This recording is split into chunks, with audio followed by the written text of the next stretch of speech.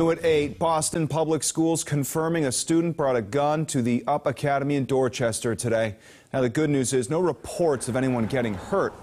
The superintendent of Boston Schools says they're working with city and state partners every day to improve student safety.